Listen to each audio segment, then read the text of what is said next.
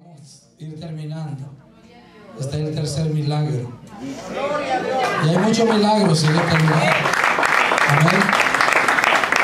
Si usted no se desespera y usted todavía sigue esperando, hermano, Dios nos va a edificar. Aquí vemos padres de familia, hijos, jóvenes. El propósito de Dios es hablar a nuestras vidas. La Biblia dice que el que piensa estar firme, mire que no caiga. Si yo no pido a mi hermano Fiallo que pase, gloria al Señor, el cual va a compartir con nosotros hoy en esta noche también. Y estaremos cerrando ya con el último eh, milagro de esta noche. Amén. A su nombre. Hermano, Dios le bendiga. Qué lindo es el Señor. Sea nuestro Señor Jesucristo exaltado, aleluya. Bájale un poquito al micrófono porque yo soy gritón, aleluya. Santo es el Señor, yo me estoy gozando desde el comienzo, aleluya. A la de Dios le bendiga. Me conoce muy bien, aleluya. Terrible es el Señor, aleluya. Él cambia, Él transforma a las personas, mi amado hermano. Cuando Cristo llega, no hay diablo que se ponga ahí, aleluya. Diablo mentiroso. Señor lo reprenda, aleluya. Santo es el Señor. Como decía mi hermano Kelvin, lo hacemos para la gloria y la honra del Señor. No le queremos dar honra al diablo, el Señor lo reprenda, aleluya, pero es necesario testificar. Es necesario que nosotros contemos lo que el Señor ha hecho con nosotros. Yo quiero ser breve, mi amado hermano, porque como decían los hermanos, esto es un poco largo, ¿verdad? Aleluya. Pero yo quiero llevarlos a la palabra, aleluya. Allá en, en Segunda de Corintios, aleluya, 5.17. Aleluya, esa palabra me conmueve, aleluya, porque yo la he hecho mía, esa palabra. ¿Verdad? Porque es necesario entender que nuestro Señor nos ha transformado, mi hermano. Que esto no es ningún juego, aleluya, que esto es real, mi amado hermano. Y que el Señor ha cambiado para donde nosotros íbamos y nos ha dado un nuevo lugar donde vamos. Y es estar en gloria con Él. Yo no sé si ustedes están entendiendo lo que el Señor está diciendo. Esto no se trata de brincoteo, ni de gricoteo, ni nada de esto. Esto es real, mi hermano. Lo que Cristo va a hacer con nosotros es real. O sea, la transformación donde esta carne se va a transformar. Aleluya aleluya, donde se va a convertir en espíritu. Aleluya, mi alma alaba a Dios en esta hora. No sé, si no se quiere levantar no hay ningún problema, mi amado hermano, aleluya. No lo haría por mí, lo haría por la reverencia de la palabra. Pero Dios es bueno, aleluya. Qué lindo es el Señor. Quiero leer rapidito antes de entrar, aleluya, a lo que nuestro Señor, aleluya, va a dejar que usted escuche parte de mi testimonio, aleluya. De modo que si alguno está en Cristo, nueva criatura es. Las cosas viejas pasaron. He aquí, todas son hechas nuevas. Todas son hechas nuevas, mi amado. O sea que no hay nada media, aleluya. Puede tomar asiento, aleluya. Le damos gracias al Señor, aleluya. Le doy gracias, le prometo no gritar en esta hora, aleluya. Porque quiero que los jóvenes entiendan clarito, aleluya. Porque es necesario que los jóvenes entiendan. Porque muchos de los jóvenes que están en la iglesia quieren llegar a donde Dios me sacó a mí. Aleluya. Porque ese mundo engaña. Aleluya. Como todo joven yo tenía sueños. Soñaba ser un cantante. Aleluya. Soñaba ser una, tal vez un abogado. Mi mamá era una mujer muy educada. Tenía muchos principios. Una mujer estudiada. Aleluya. Pero ella me dijo en el, en el año 87 por ahí. Me dijo ella, hijo, yo voy para Estados Unidos. Y cuando yo regrese, yo lo voy a llevar a morar conmigo allá en Estados Unidos. Yo le dije, mamá, amén. Pero yo era un niño, aleluya, con muchos sueños, unos sueños terribles, aleluya. Yo quería ser alguien, aleluya. Pero yo no entendía que el ser algo es ser algo en Jesucristo. Según yo, pues, tener un carro bonito parqueado, una buena casa, sacar a mi familia de la a mí de la pobreza, perdón. Para mí eso era una victoria grande, mi amado hermano. Mas no entendía, aleluya, ¿verdad? Más ahora sí entiendo que el Cristo de la gloria lo que quiere que nosotros subamos allá arriba con Él, mi amado hermano. Pero como no era un cristiano, yo entendía que eso era vivir, aleluya. Alabado sea el Señor, pues mi mamá desciende a Honduras y como ella lo dijo, ella regresó con papeles, nos trajo a Estados Unidos. Quiero ser breve, mi amado hermano, rapidito voy a viajar por lo que es parte de mi testimonio para que usted no se me vaya a aburrir y entendemos que el tiempo, ¿verdad? ha avanzado. Aleluya. Pues entonces mi mamá nos trae a Estados Unidos. Aleluya. Con sueños. Mi mamá me dijo estas palabras. Hijo mío, cuando llegues a Estados Unidos vas a poder cumplir tus sueños. Aleluya. Porque hay muchas oportunidades. Ahí en Estados Unidos te pueden ayudar a conquistar lo que tú has soñado ser. Aleluya. Hermanos míos, lo que yo no entendía era que el diablo, aleluya, ya andaba atrás de mí. Porque él sabía que yo iba a estar parado en un púlpito, aleluya, predicando el evangelio de Jesucristo. entonces él quería borrar esa imagen, la cual él arrebató esa imagen. Robó mi juventud, aleluya. Atado en las pandillas, mi hermano. Atado en las drogas, en el alcohol, en la porquería aleluya, cargando revólveres que mi mano no podían ni sostener, aleluya. Pero cuando llegué a Estados Unidos, aleluya, empecé a ver todo lo que estaba aconteciendo en estas calles y me llamaba la atención el de la esquina. Me llamaba la atención el de la televisión, el que tenía los tatuajes, el más violento, eso era lo que me llamaba la atención a mí. Comencé con la marihuana, aleluya.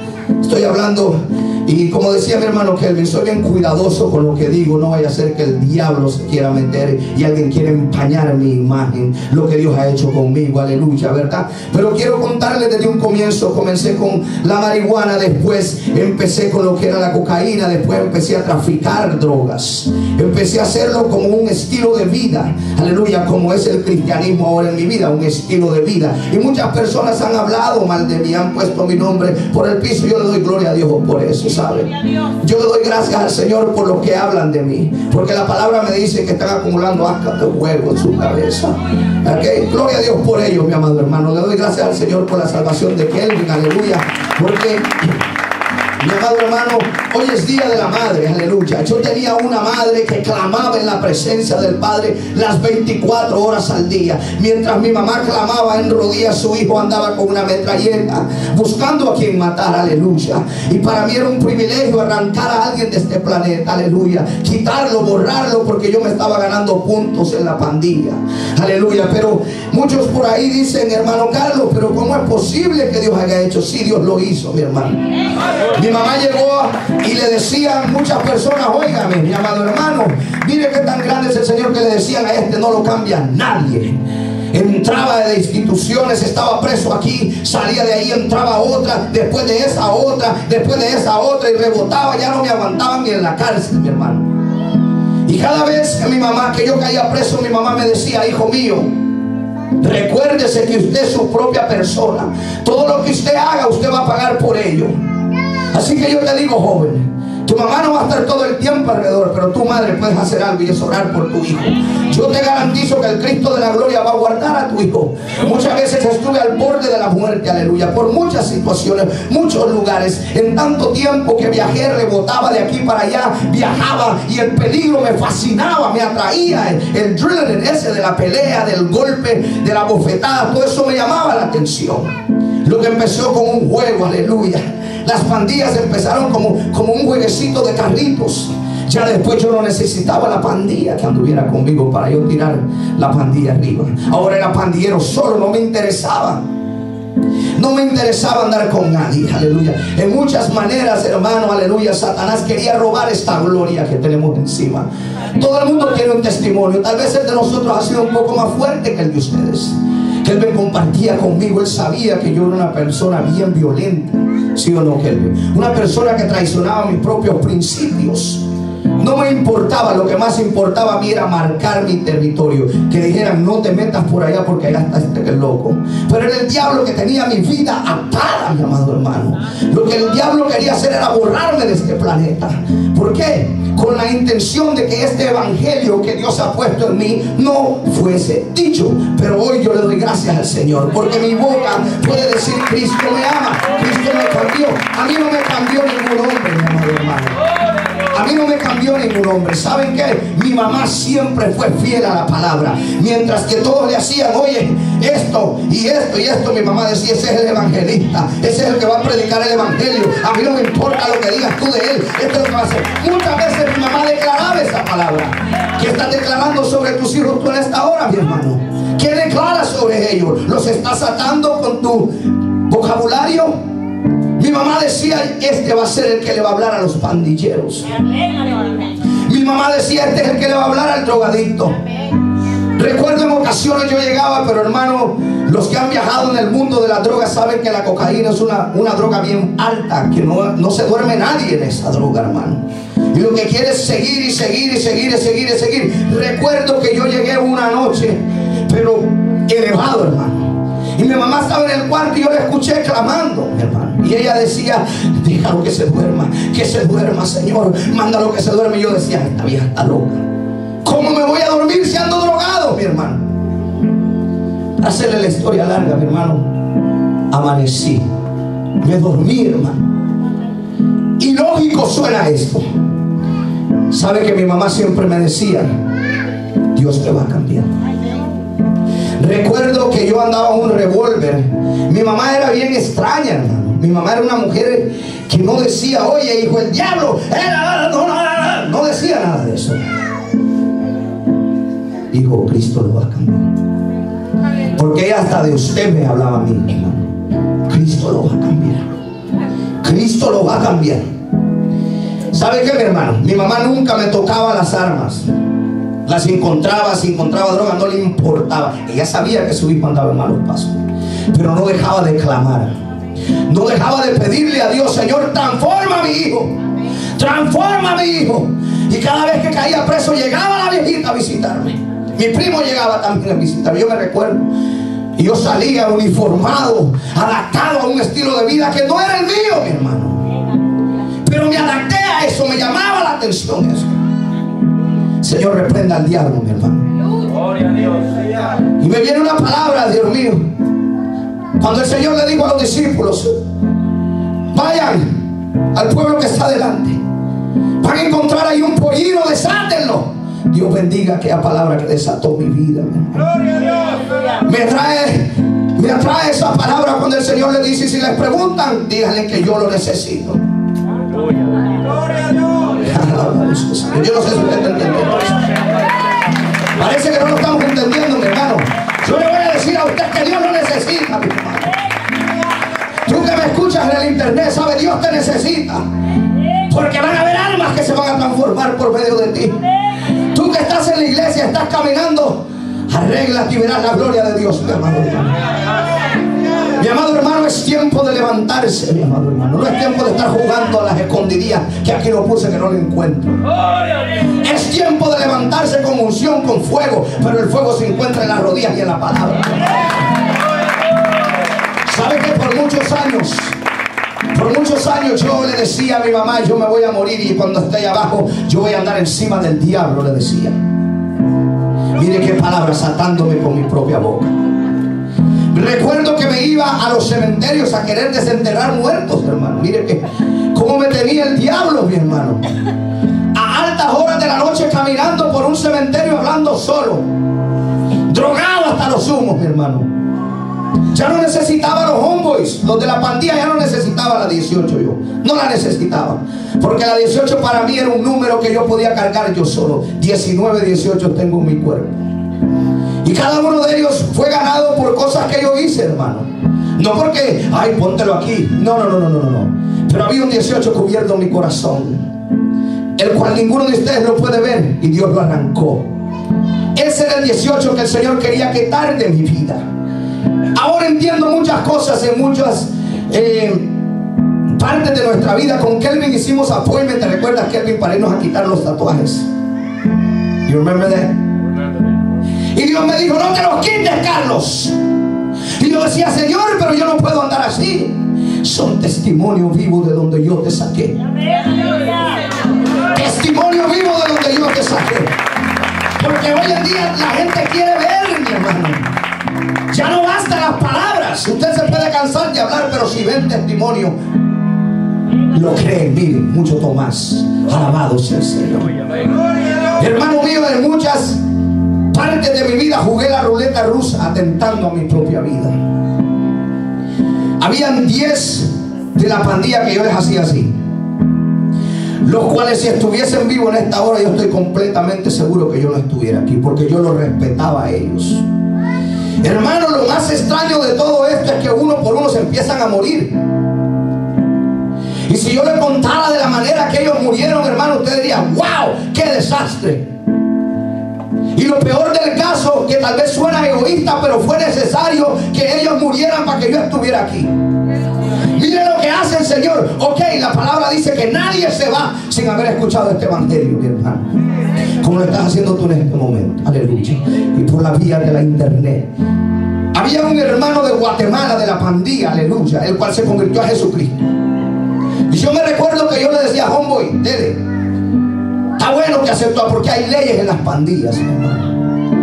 El que acepta a Jesucristo le dan camino, pero hoy en día los pandilleros no están cumpliendo con eso. Se las pasan hablando porque ellos están atollados en el pecado. Pero ¿sabe que Eso no es mi punto. Yo sigo creyendo que Dios lo va a transformar. Yo sigo creyendo que el Señor va a hacer la obra como la hizo conmigo. He llorado en este altar y mi clamor es, Señor, transfórmalos. No los arranques, transfórmalos. Porque entiendo que no son ellos, sino lo que se apodera de ellos. Porque esto es batalla espiritual, mi amado hermano. Recuerdo una vez, mi amado hermano, donde Satanás llegó tan cerca de quitarme la vida. En varias veces, mi amado hermano. Es que él ya olía. Carlos huele a gloria. Este muchacho huele a gloria. Estaba ya la presencia del Señor, los clamores de mi mamá en vivo. Doña Doris, yo sé que esta es la gloria de Dios, mi mamá. Porque es una mujer de Dios, mi hermano. Una mujer que clamaba y decía, Dios lo va a cambiar a mi hijo. Me ponían por el piso y ella decía, Dios te va a cambiar, hijo. Dios te va a cambiar. Recuerdo que nos, en esta vez cuando el Satanás llegó tan cerca de robar mi vida, acababa de salir uno de la pandilla. Hermano, voy a ser bien cuidadoso con lo que voy a decir. Yo podría entrar en tantas esquinas ahora y tocar tantos puntos de mi vida que yo creo que no edifican a nadie. No edifican a nadie. Yo no vengo a confundir a nadie, mi hermano. Pero recuerdo que cayó una oscuridad una vez que estábamos consumiendo droga en la parte de atrás de una traila. Acababa de salir uno de los hermanitos de la pandilla de la prisión de hacer dos años, un jovencito como de 17 años. Y él llegó al lugar donde yo estaba y él me dijo, homie, vine a ponerme loco con usted.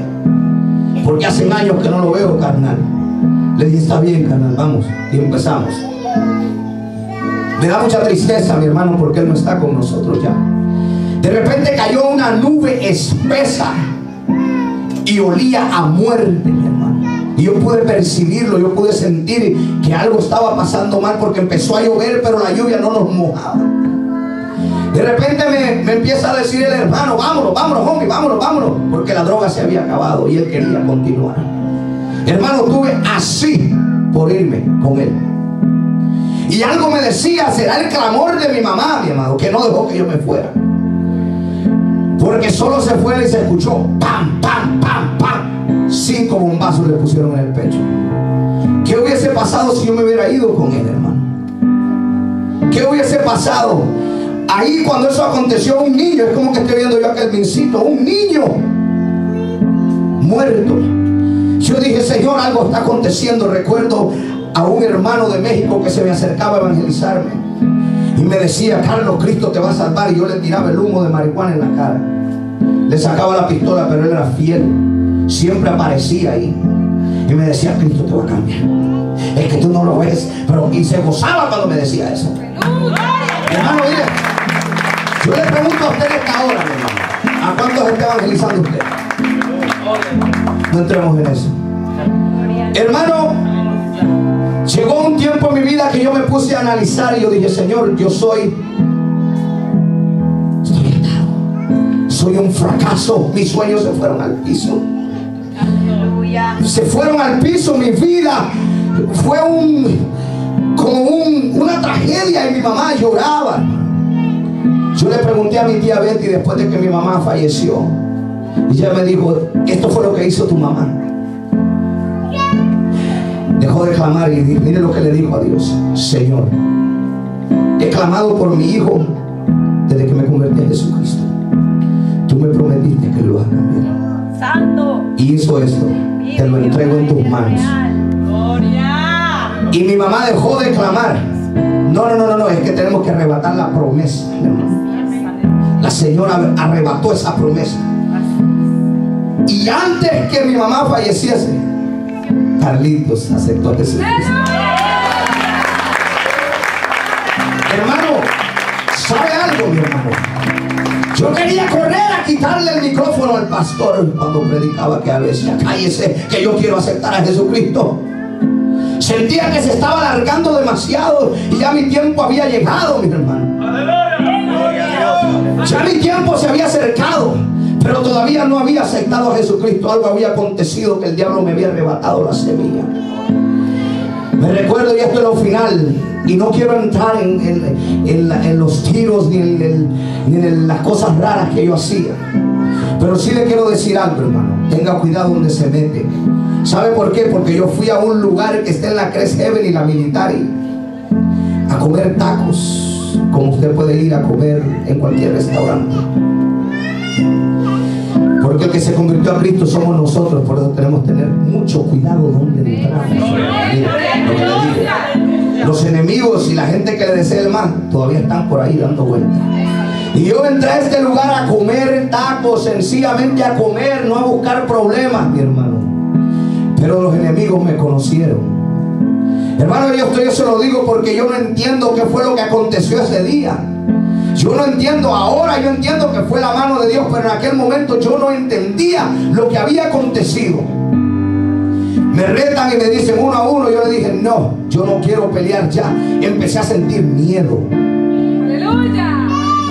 Era Dios ya obrando, hermano. Porque para servirle a Dios hay que tener miedo. Pero el miedo es reverencia, no miedo de, ay Señor, que no, reverencia. Hay que saber distinguir ese miedo, mi hermano. Muchos han perdido ese miedo. Y es por eso que van de fracaso en fracaso y se avecina más fracaso. Porque a Dios hay que respetarlo, mi hermano. Entonces empecé a sentir miedo. El gran teca, el gran loco, empezó a sentir miedo, mi hermano. Empecé a sentir aquella cosa, Señor, si salgo esta gente me van a golpear. Pero me llené de valentía después de 40 minutos y dije, me voy a ir por ahí. Y iba saliendo cuando de repente estaban ahí y ya no querían pelear. Sacaron un revólver. ¡Pam, pam, pam, pam! 19 disparos. Lo que más me impacta, hermano, que hoy en día puede estar un señor en una mesita así, sentado en una silla mecedora, dispararon un tiro por allá en, en lejos y le cae en la cabeza y se muere. ¿Cómo es posible que a mí me agarren de aquí a, esa pared y no me toque un balazo, hermano?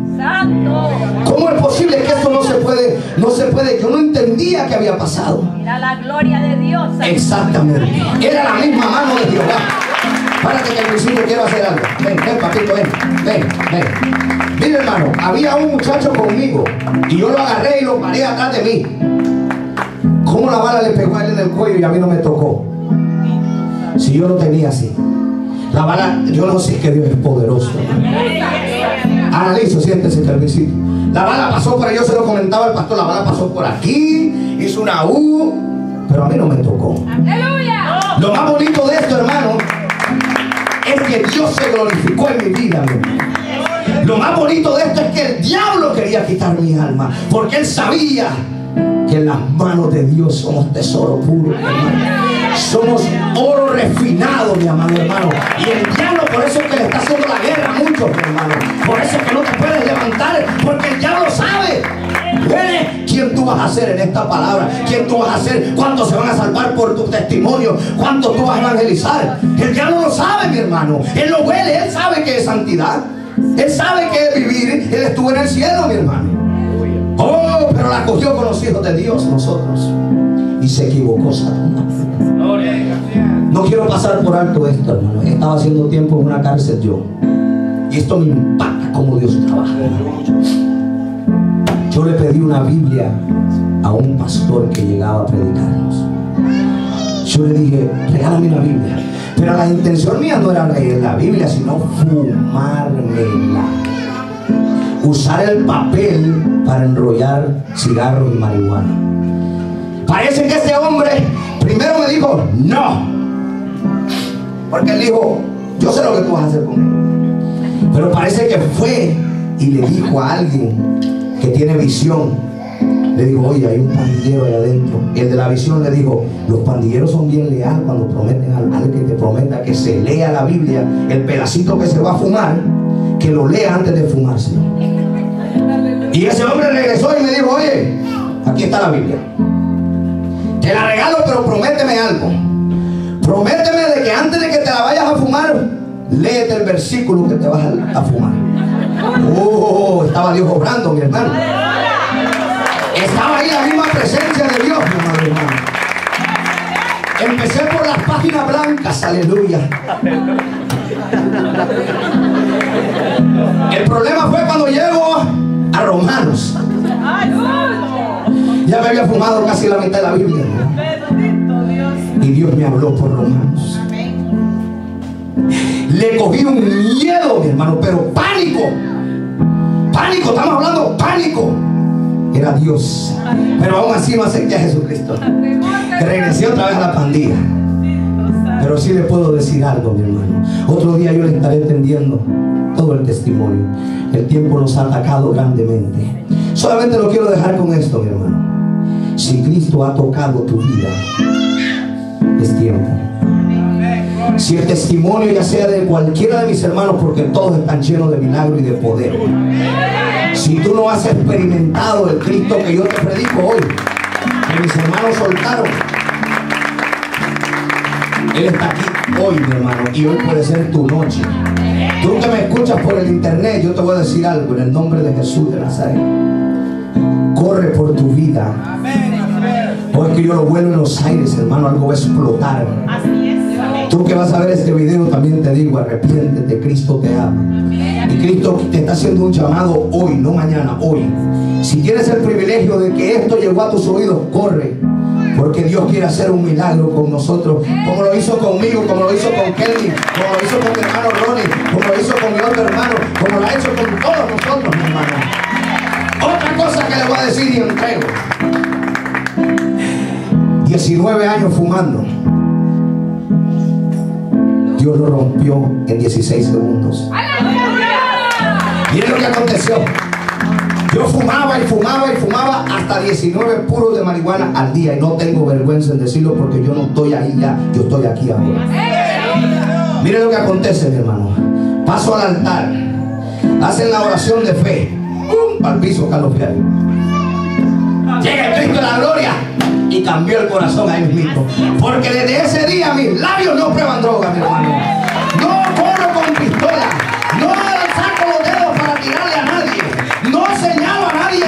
Conforme a pandilla, cualquier cosa así. Lo único que he hecho es buscar a Cristo. He tenido mis fallas, lo reconozco. Pero Cristo es poderoso, mi amado hermano. El Rey de la Gloria me ha dado este privilegio, mi hermano, de servirle y estar enamorado de Él.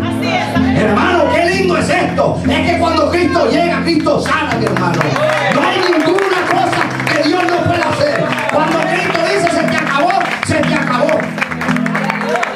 creo que es tiempo, es momento de reflexionar, mi hermano. Es tiempo del cambio genuino. Joven que estás en este lugar, corre por tu vida. Padre de familia que estás en este lugar, en este lugar sigue clamando por los tuyos.